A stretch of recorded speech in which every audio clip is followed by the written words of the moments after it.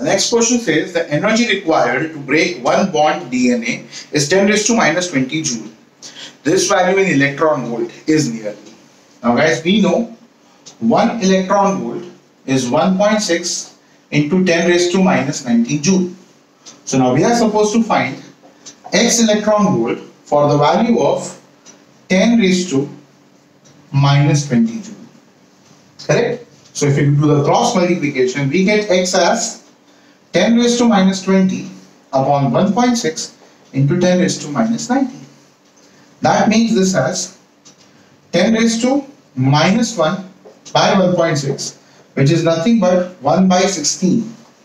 Now definitely if we take 1 by 16 as this number, this value is going to be 0 0.0 16 5 90 hota hai and then you are going to get 100 as a value. So 0.06 something approximately you will get as an answer and that is going to be your final answer.